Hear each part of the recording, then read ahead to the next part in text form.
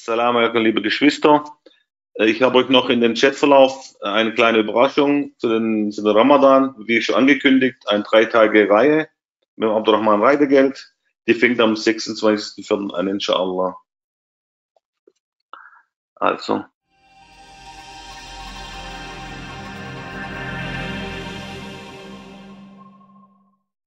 Alhamdulillahi Rabbil Alamin. Wassalatu wassalamu ala Sayyidina Muhammadin wa ala alihi wa sahbihi wa sallim. Preis sei Allah dem Herrn der Welten und Segen und Frieden mit dem Propheten Mohammed und mit seinen Gefährten und denen, die der Rechtsleitung folgen, allesamt. Ashadu la ilaha illallah wahdahu la sharika lah wa ashadu anna Muhammadan abduhu wa rasuluh. Ich bezeuge, dass es keine Gottheit gibt außer Allah dem Einzigen, der keinen Teilhabe hat und dass Mohammed sein Gesandter und sein Diener ist. Amma ba'd des Weiteren. Da wir uns jetzt in Erwartung des Monats Ramadan befinden und dieser Ramadan, das ist nichts ähm, Verborgenes, sich anders abspielen wird als die der früheren Jahre, erscheint es mir angebracht, im Sinne einer Ermahnung, im Sinne einer Betrachtung des Weges, den wir als Menschen und Muslime und Umma gehen, dass wir einmal zurückschauen die letzten Jahre, wie wir den Monat verbracht haben um zu wissen, wie wir ihn vielleicht verbringen sollten. Das erste Mal, dass ich einen Ramadan miterlebte, war 1984. Und wenn ich vergleiche, wie sich damals der Ramadan abgespielt hat, sowohl was Spiritualität und Innerlichkeit angeht, als auch Gemeinschaftlichkeit, da muss ich sagen, dass sich das Verhältnis zu diesen positiven Faktoren und dem, was ich Eigensinnigkeit, Verschwendungssucht und ähnliches nenne, immer stückweise verschoben hat, mit gewissen Wellenbewegungen. Zwei Dinge sind mir die letzten Jahre deutlich geworden, dass nämlich die Menschen selber, auch innerhalb der Umma der Muslime, dass die Menschen sich teilen in zwei ganz grundsätzliche Gruppen. Eine Gruppe ist nicht aufmerksam. Ich sage nicht schlecht, ich sage aufmerksam. Beobachtet die Welt und die Entwicklungen, die sich tun, nicht und zieht vor allen Dingen keine Lehre daraus in praktischer Hinsicht. Sehen Sie, es ist eine Sache zu sagen, der jüngste Tag kommt. Es ist eine Sache zu sagen, wir sehen bestimmte Zeichen, die sich ereignen. Es ist eine Sache zu sagen, ja, es gibt bestimmte gesellschaftliche Ereignisse, die mal so und mal so ablaufen in der Geschichte. Und es ist eine andere, auf sich selbst zu schauen seine Familie zu schauen, seine Freunde, seine Umgebung zu schauen und dann zu sagen, ich sehe, dass sich hier bestimmte Dinge getan haben. Einige, wie ich finde, positiv und einige zumindest bedenklich.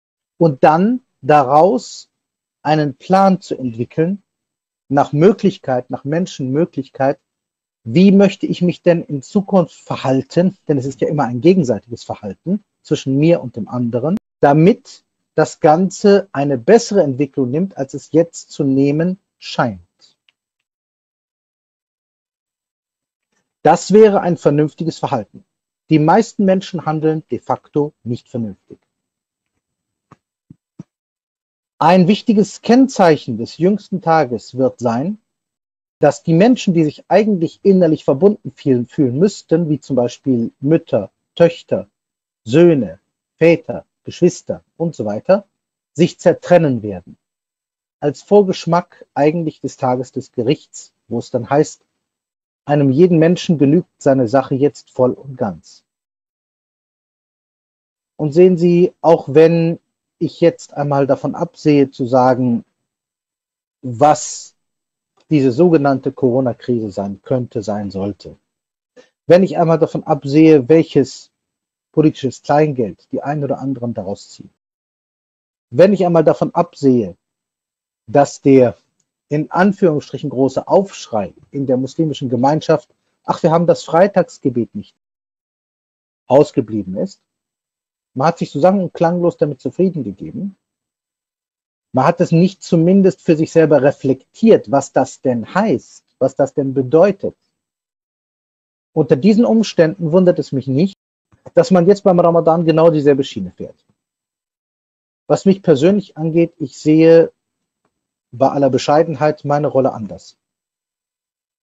und auch die Rolle derer, die nachdenken in unserer Umma, allgemein. Es ist Zeit, die Dinge beim Namen zu nennen und zu sagen, wir sehen hier grundsätzliche Entwicklungen. Denn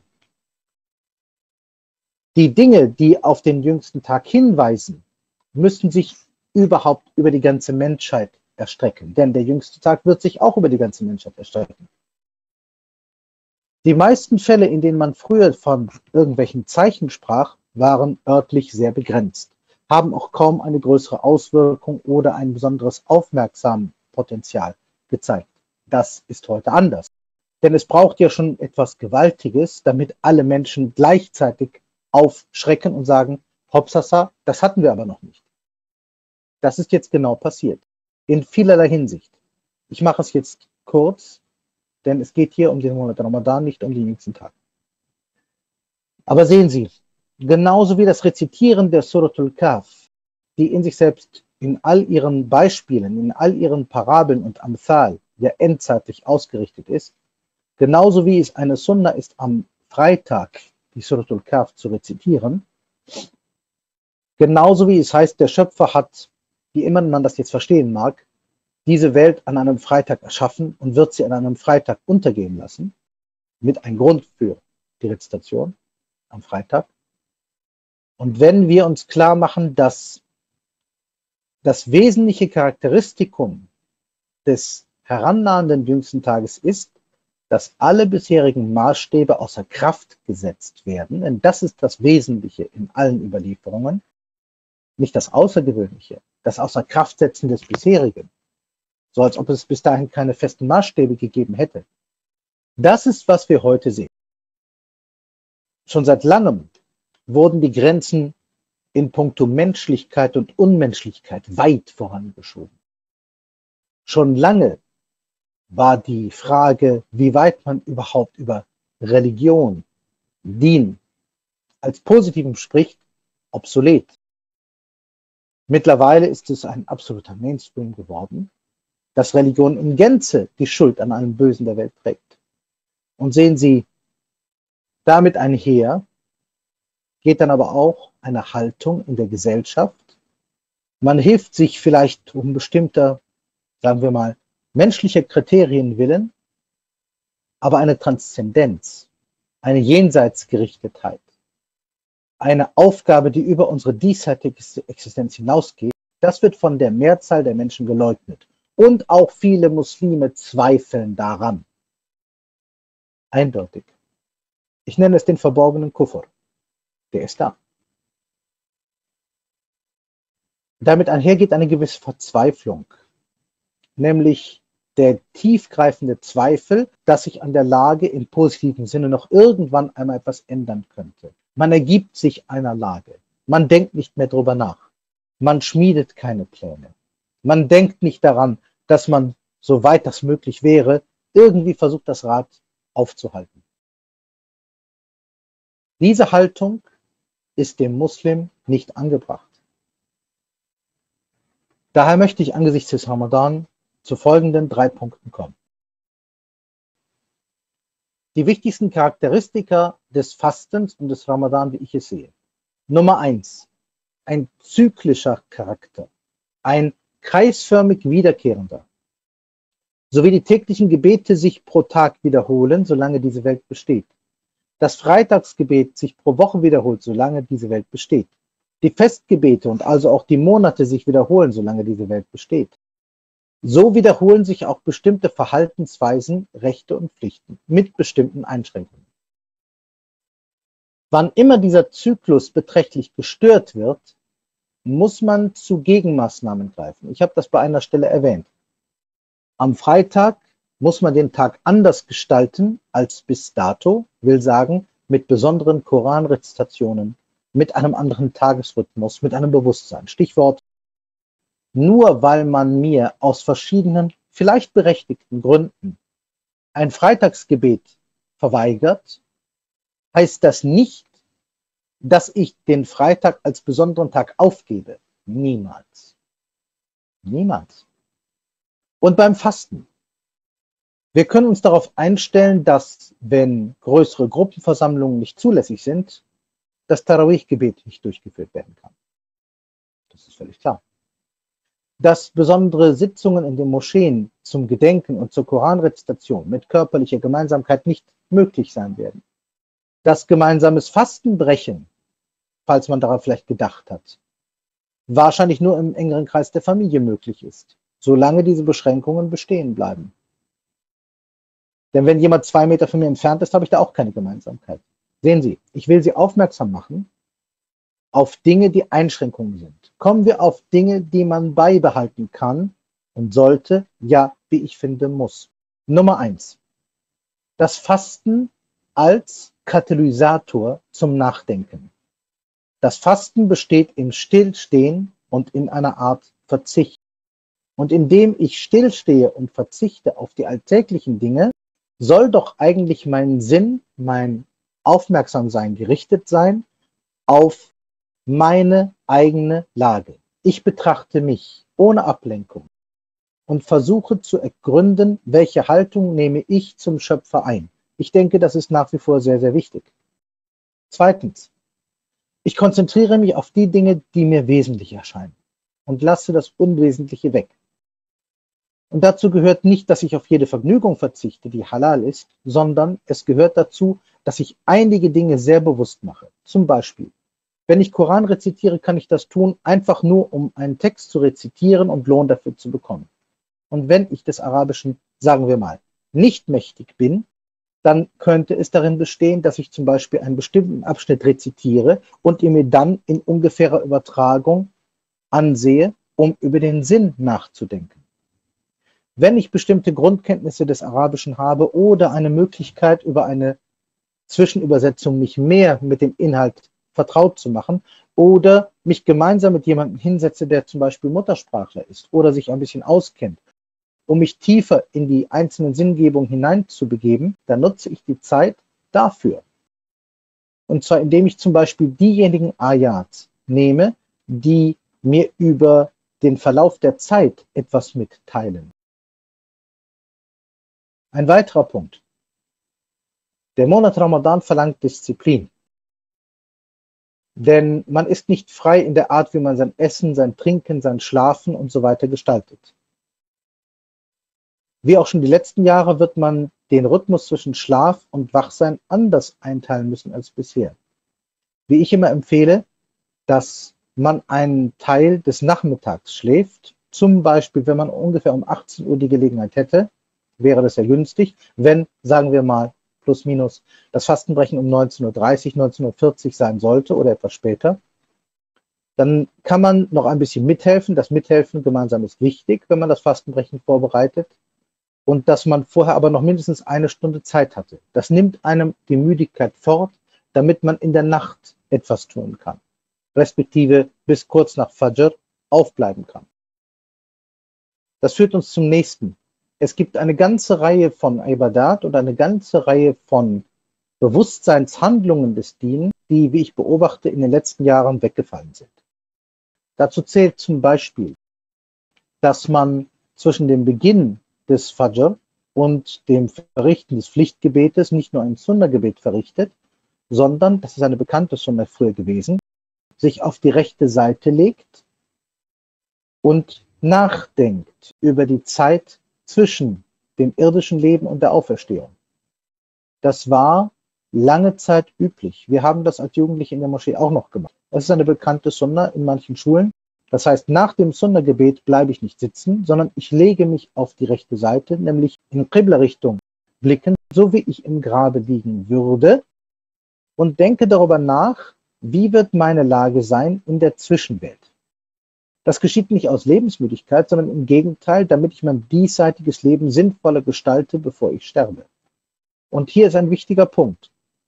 Die Lebensbejahung erfordert auch gleichzeitig die Bejahung unseres Untergehens. Natürlich. Ein bewusstes Führen des Lebens liegt nicht darin, dass ich einfach nur versuche, eine Pflicht zu tun und einfach vor mich hin lebe. So wie der Koran sagt, meint denn der Mensch Kasuda, dass er einfach so gelassen würde, wie in der Surah Taha beschrieben. Nein, er wird nicht einfach so gelassen. Und das führt mich zum letzten wichtigen Punkt in diesem Kontext. Und der letzte wichtige Punkt in diesem Kontext ist, dass wir vor andersartigen Herausforderungen und Schwierigkeiten stehen werden als bisher. Lassen Sie mich vielleicht mit ein, zwei ermahnenden Worten beginnen, denn diese Krise führt uns deutlich vor Augen, wo unsere Schwächen sind. In verschiedenen Ländern wurden die, ich sage mal, die Gebetsplatzbetreiber vor die unangenehme Lage gestellt, dass sie Miete, Unkosten und so weiter nicht mehr bezahlen könnten. Und hier und da hat man Spendenaufrufe gesehen und für unsere Moschee und für dies und für das. Lassen Sie mich klar sagen, dass die meisten dieser Orte dem Fiqh gemäß Gebetsorte sind und keine gültigen Moscheen. Denn allein die Tatsache, dass man rausgeschmissen werden kann, wenn man die Miete nicht bezahlt, bedeutet, dass dieser Ort, das ist die Mindestdefinition, nicht für das Gebet alleine gewidmet sein kann. Wie ich an anderer Stelle sagte, und ich bin nicht der Einzige, der die letzten Jahre darauf hingewiesen hat, in gemieteten Räumen kann man vielleicht ein Gebet verrichten, aber ob das Freitagsgebet dort passend untergebracht ist, ist ein Zweifelsfall. Natürlich hört man nicht drauf und dementsprechend stehen jetzt viele Gemeinden vor einem Aus, weil sie natürlich keine Spendengelder mehr sammeln und diesbezüglich sich äh, äh Mietkosten und andere Kosten aufstocken, die sie nicht begleichen können und dann gibt es Spendenaufrufe. Und sehen Sie, was jetzt kommt, ist genau wieder die Quadratur des Kreises. Dann spendet man, damit diese Plätze ungefähr erhalten werden können, damit nach der Krise man genauso unsicher und wackelig weitermachen kann wie bisher. Anstelle, dass man Immobilien rechtzeitig gekauft hätte, dass man zumindest nicht rausgeschmissen werden kann, dass man nicht Angst haben muss für jeden Monat, wo man nicht die Leute angeht, um irgendwelche Gelder mit einem Klingelbeutel, was ich immer schon unverständlich fand und was der Würde eigentlich des Platzes nicht zugänglich ist, dass man es nach wie vor versäumt hat, für wirklich feste Strukturen zu sorgen, das trifft uns jetzt stark. Es gilt für die Wirtschaft und es gilt für Religiöses. Wo Struktur da ist und wo etwas Rücklagen da sind, braucht man sich auch in dieser Krise nicht wirklich zu fürchten. Es wird unangenehm, ja, aber es wird nicht katastrophal oder existenzbedrohend. Aber wenn ich eine sogenannte Moschee, was ich gar nicht so nennen würde, aufrechterhalten kann, nur indem ich die Leute mit Spenden angehe, das ist keine Existenz. Und das ist vom Fiqh auch gar nicht geplant. Wir haben uns an eine nicht dem Fiqh des Islam gemäße Situation gewöhnt, vielleicht gezwungenermaßen. Aber jetzt tun wir so, als müssten wir diese Situation einfach so bewahren. Ich sage, warum müssen wir das? Denken Sie doch einmal ein bisschen intensiver über andere Strukturen nach, die uns unabhängiger machen. Denken Sie doch einmal darüber nach, wie man endlich aus diesem Hamsterrad herauskommt, dass man für jede Kleinigkeit irgendwo vertrieben werden kann. Denken Sie doch einmal über Alternativen nach, die mehr sind als nur Hausaufgabenbetreuung. Eine tiefgreifende Gewissenserziehung eine tiefgreifende Ausbildung von Leuten, die fachliche Tätigkeit in unseren Gemeinden erfüllen können.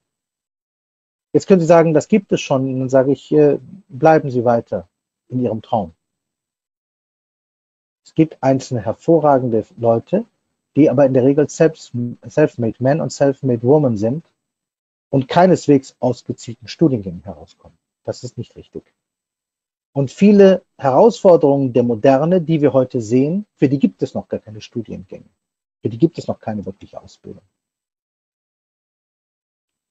Wir sehen uns in dieser Krise nicht mit etwas Schwierigem konfrontiert, weil uns alle Existenzgrundlage genommen wird.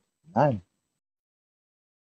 Wir sehen uns in dieser Krise konfrontiert, weil wir auch schon vorher an einem dünnen Faden existiert haben und dieser dünne Faden jetzt weiter durchgesägt wird. Das ist die Wahrheit.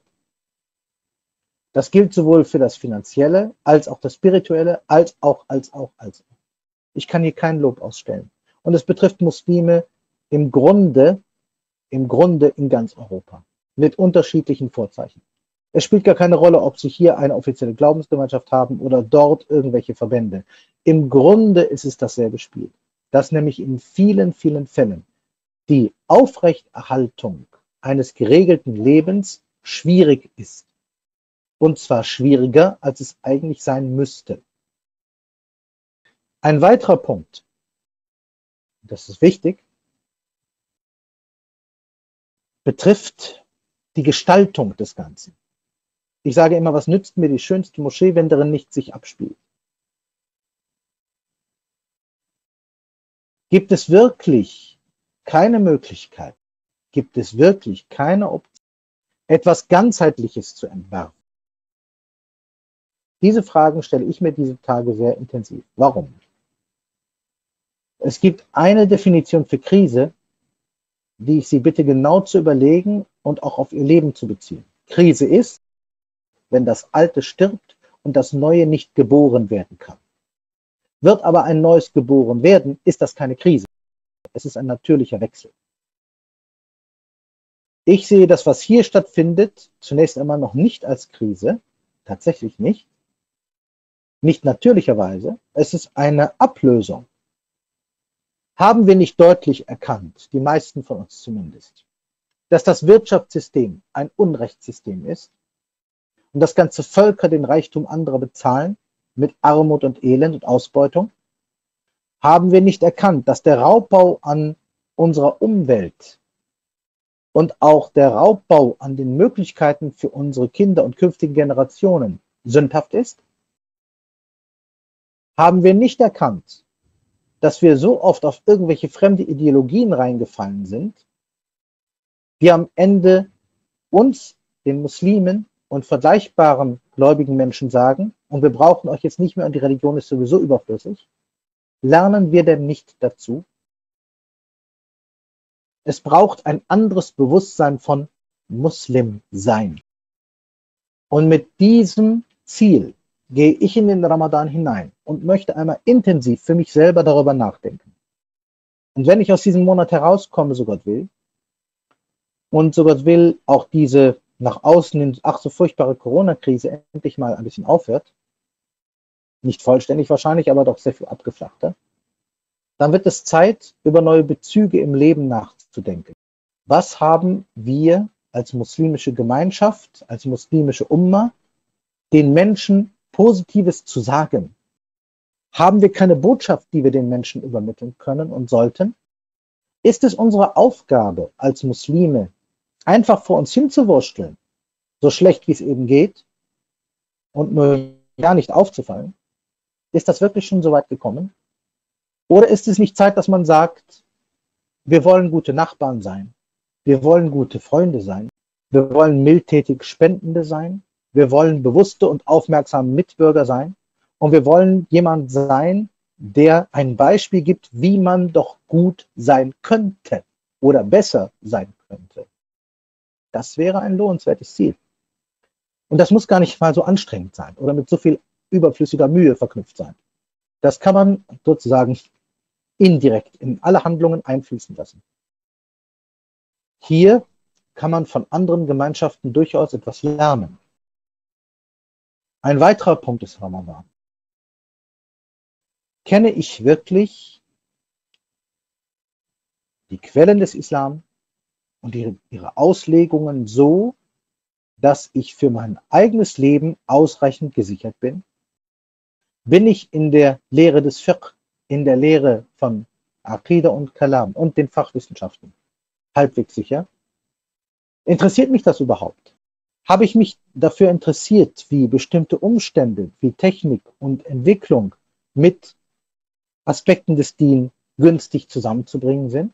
Jetzt werden wir nämlich auf die Probe gestellt. Gucken Sie mal, wir sind jetzt in einem digitalen Zeitalter, was immer mehr ins Digitale übergeht. Es wird an der Zeit zu sein, zu überlegen, was soll analog bewahrt werden, dann muss man darauf hinarbeiten. Und was kann in das Digitale übersetzt werden? Das wird man ins Digitale übersetzen müssen. Und was muss auf beiden Seiten, dem analogen und dem digitalen stehen? Das sollte nicht einfach nur irgendwie laufen, das sollte ein geplanter und geordneter Umstand sein und sich darüber Gedanken zu machen, planend, damit man formen kann, das wäre auch Anliegen des Monats Ramadan. Ein weiterer Punkt. Wenn man die Lehren aus unserer Existenz, auch aus unserem Problem ziehen möchte, ist es gut, sie zu kontrastieren mit den Problemen und den Nöten der Menschen weltweit. Man könnte jetzt sagen, wir sind nach wie vor in einer sehr bevorzugten Lage, sowohl was Zugang zu Wasser angeht, Nahrung, Kleidung, Wohnung, anderen Umständen, Ausbildung. Sicher, das stimmt alles. Aber nichtsdestoweniger sind wir, wenn auch vielleicht körperlich hervorragend gestellt, meiner Ansicht nach geistig sehr verarmt. Und hier sind wir zum Teil schlechter dastehend als viele Menschen in Afrika und Asien, das muss ich deutlich sagen. Und es ist vielleicht Zeit, einmal über einen Paradigmenwechsel nachzudenken. Wie kann ich meine Existenz und die meiner Familie und wenn möglich die meiner Freunde und deren Familien, je nachdem, wie weit wir kommen in dieser, in dieser Haltung, auf eine andere Ebene bringen. Beispielhaft zu werden, vorbildhaft zu werden. Warum wollen wir nicht gute Vorbilder sein? Sie könnten jetzt sagen, was hat das alles mit Ramadan zu tun?